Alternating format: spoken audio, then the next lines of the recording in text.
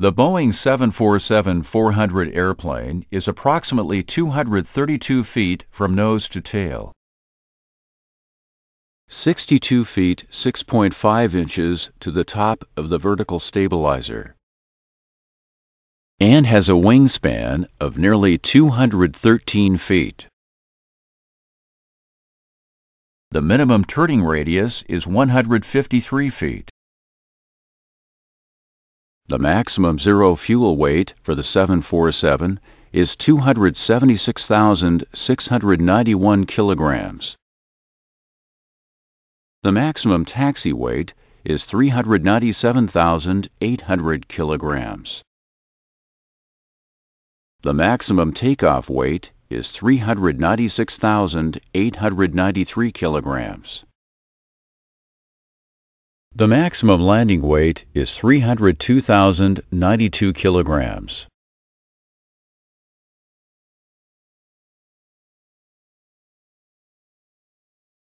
The 747 is powered by high bypass ratio engines from General Electric. The engines produce approximately 62,100 pounds of thrust.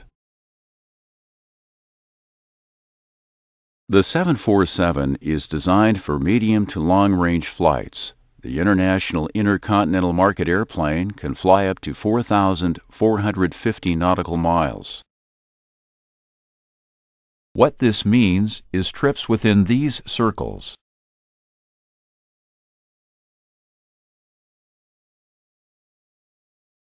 The maximum cruise altitude is 45,100 feet.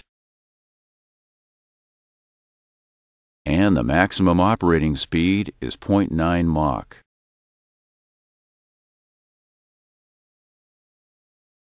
A nose cargo door and a cargo door on the left side of the upper fuselage allow access to the main cargo deck. There are two crew entry doors on the left side forward and aft and one crew service door on the upper right side.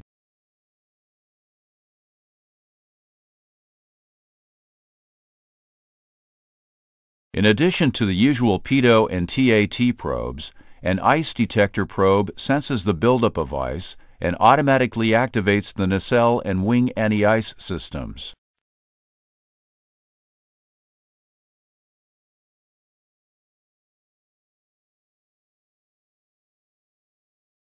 A tail-mounted APU can provide the 747 with electric power. The APU also supplies bleed air on the ground and up to 15,000 feet. The fuel system has seven fuel tanks, one center, four main, two reserve wing tanks and surge tanks.